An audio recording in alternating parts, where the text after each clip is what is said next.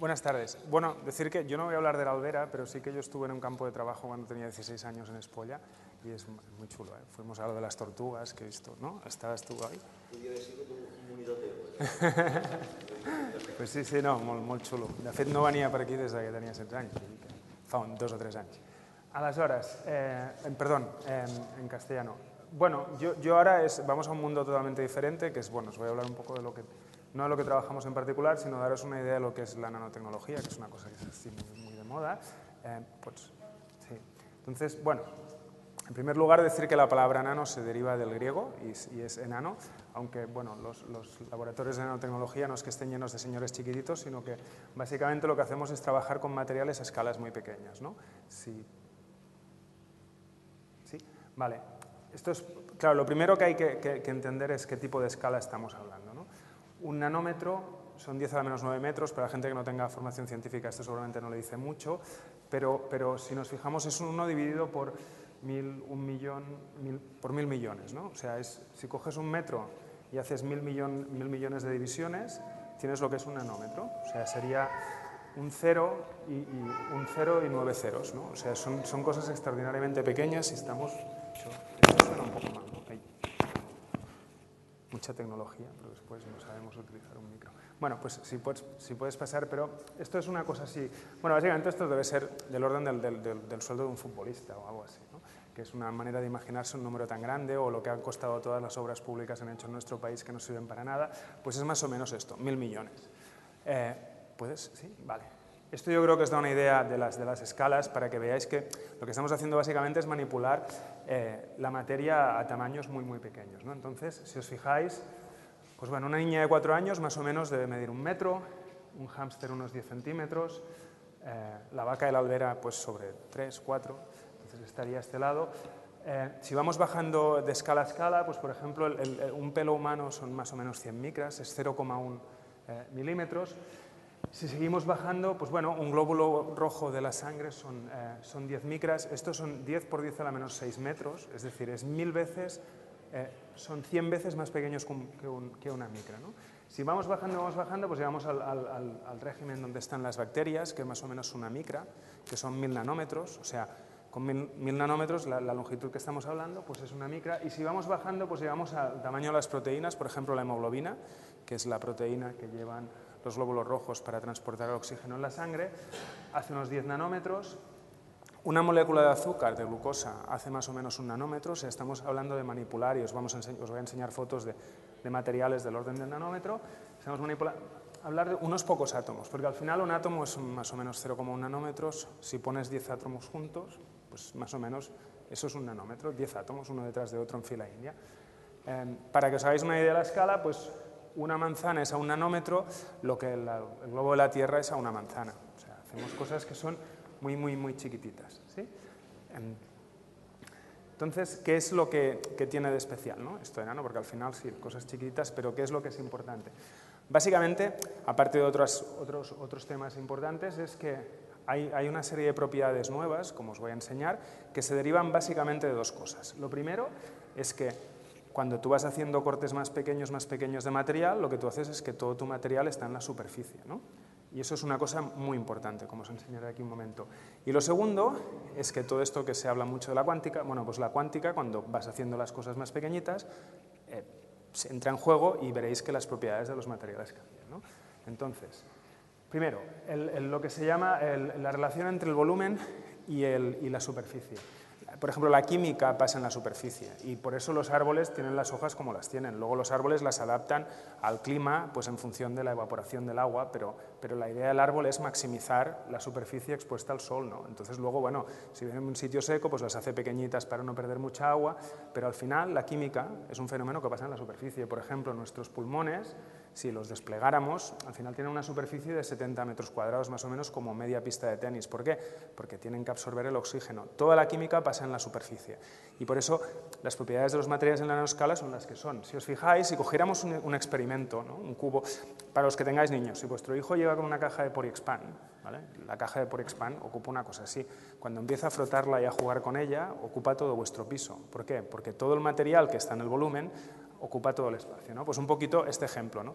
Si nosotros cogiéramos una caja, una caja, imaginaria de un centímetro, de un centímetro y un centímetro de volumen, esto tiene un volumen de 6 centímetros cuadrados. Si nosotros estos cuadraditos los dividiéramos en cubos de un milímetro, esto ya pasa a tener 60 centímetros cuadrados. Pero en cambio, si esta cajita, los cuadraditos, los hiciéramos de un nanómetro, pasaría a tener 60 eh, millones de centímetros cuadrados. Por lo tanto, ya podéis ver que al final es un cambio muy radical. Simplemente por hacer una cosa mucho más pequeña estamos aumentando mucho el volumen. Entonces, por ejemplo, en los casos de reacciones químicas, eh, que es una de las cosas que veremos, como la reactividad es más o menos proporcional al área, tendrás reactividades mucho más grandes. ¿no? Siguiente transparencia. Y bueno, esto es una cosa que a nosotros no nos gusta reconocer, pero en realidad el tamaño sí que importa. Eh, es una cosa que sí, es así. Eh, sobre todo, bueno, aquí en la nanoscala, como podéis ver, si, vemos la siguiente transparencia, eh, bueno, solo con un material, el oro, ¿no? el oro que todos conocemos, alguien llevará anillos, el oro grande, macroscópico, como el que lleva el, Mr. T, el Barracus aquí, es de color amarillo, es metálico y es prácticamente química, químicamente inerte, ¿no? excepto si lo pones en agua regia o lo haces amalgamar con mercurio, el oro tienes, bueno, es justamente es lo que es porque es químicamente inerte. Y es, fijaros, de color amarillo, es metálico y es químicamente inerte. Esto es cuando, cuando el material es másico, ¿no? cuando lo tienes en escala grande, tienes 10 a la 20 átomos, por decir algo cambio, cuando lo vas haciendo más pequeño, cuando lo haces de 10 nanómetros, o sea, básicamente serían mil, átomos en un volumen, resulta que se vuelve rojo. Esto luego veréis, esto es los primeros así coloides que se reportaron, que lo hizo Michael Faraday, y esto todavía está en un museo de Londres desde 1700, debe ser más o menos 1700 y algo. El oro ya es rojo, o sea, ha pasado de ser amarillo a ser rojo, simplemente porque le hemos cambiado el tamaño. ¿eh? ¿Por qué? Porque aquí entran fenómenos cuánticos. Resulta que esto es un metal, los electrones funcionan de una manera en un metal.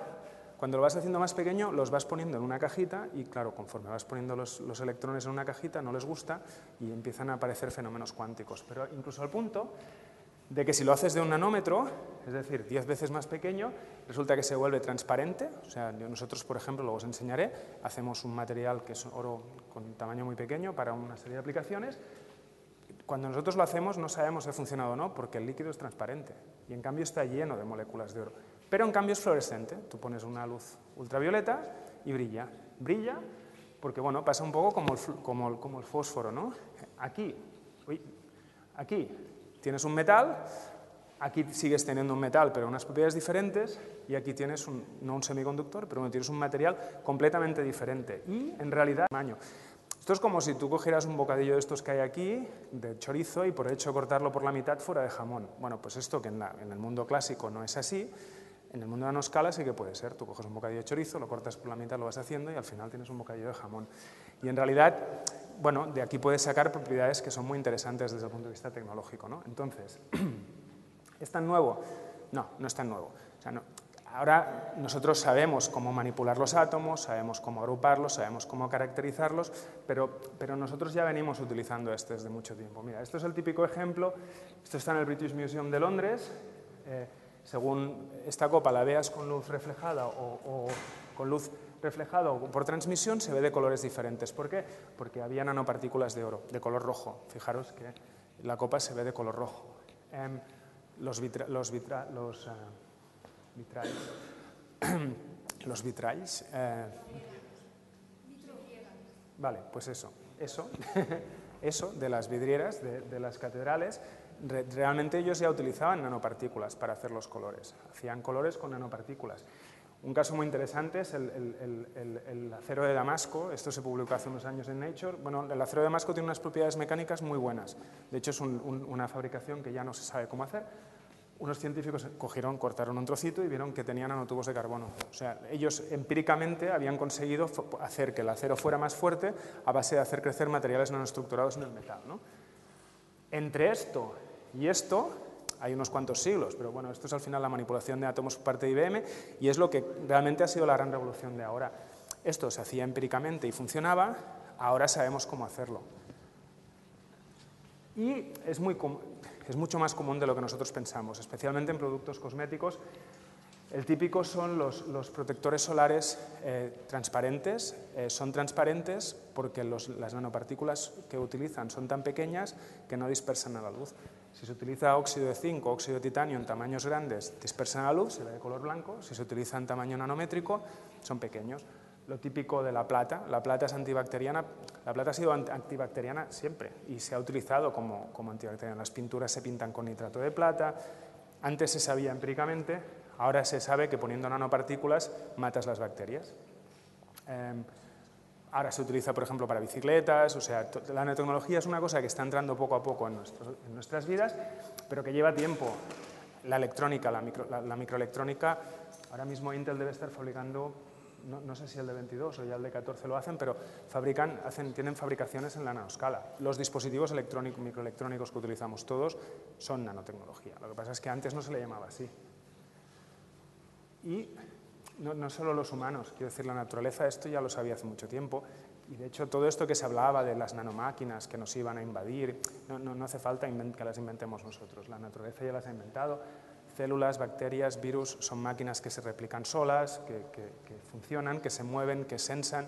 Aquí, por ejemplo, podéis ver, esto es un bacteriófago atacando, bueno, son un grupo de bacteriófagos atacando una célula, los virus están en la nanoscala y se replican, etcétera, etcétera. O sea, que nosotros no es una cosa que hayamos inventado. Y máquinas, los ribosomas, eh, que son las unidades en la célula que se utilizan para decodificar las proteínas, bueno, para hacer las proteínas, tienen aproximadamente 20 nanómetros de tamaño, que es que tampoco es una cosa...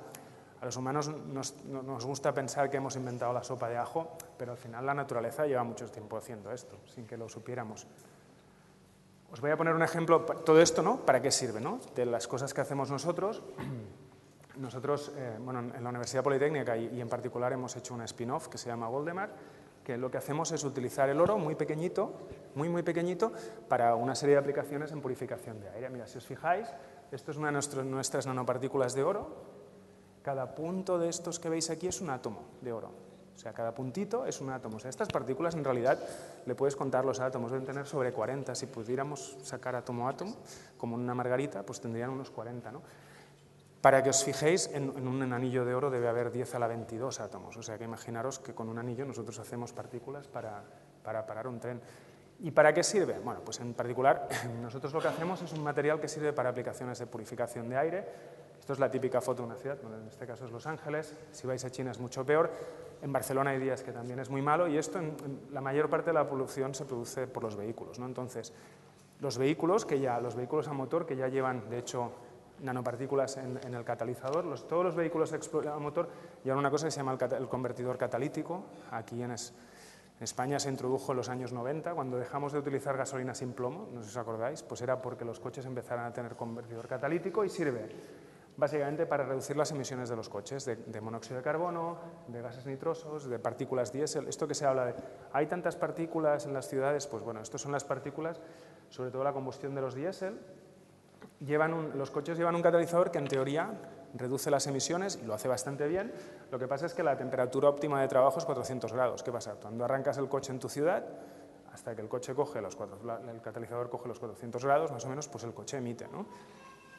Hasta esta temperatura los coches emiten. Nosotros lo que queremos hacer con nuestro material, con estas particulitas, es, fijaros, son estas particulitas de aquí. Por cierto, esto es un nanotubo de carbono, que siempre es un material así que está muy de moda. Son, son como unos espaguetis nanómetros de carbono, pues nosotros lo que hacemos con nuestro material somos capaces de hacer lo mismo que hace el catalizador hoy en día, pero hacerlo a temperatura ambiente. Entonces, de hecho, nosotros estamos hablando con empresas de automoción justamente para intentar cambiar la manera que funcionan los catalizadores de hoy en día para reducir las emisiones. Cosa que no quiere decir que haya que ir en coche a todas partes, yo en particular siempre les digo que yo voy en bici ya a trabajar, ¿no? pero, pero bueno. Entonces, bueno, por poneros un ejemplo de, que, se puede hacer, o sea, que puede hacer las cosas pequeñitas, ¿no? Em, y yo creo que ¿Siguiente? Sí, básicamente yo, de esta charla, luego en el examen, os preguntaré lo siguiente, ¿no? ¿Qué son las cosas que tenéis que aprender? O sea, lo primero es, bueno, que realmente hay una revolución de las cosas pequeñitas, pero no, no es que haya una revolución, sino que ahora estamos entendiendo a utilizar estas cosas. En la mayoría de casos esto ya se hacía y se ha hecho durante muchos años, que básicamente las propiedades vienen por dos cosas, porque hay un aumento del área superficial y por lo tanto lo que se llama el surface to volume ratio, esto os lo preguntaré en el examen y si que no, no pasa.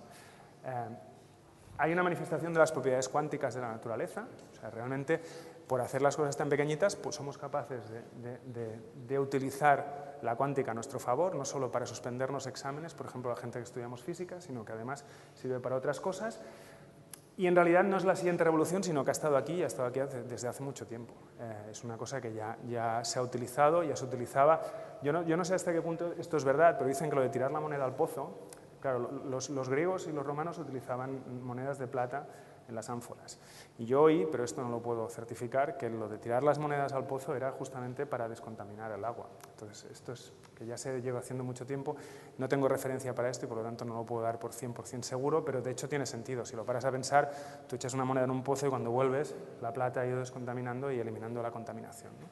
Bueno, pues yo creo que sí. Muchas gracias por vuestra atención.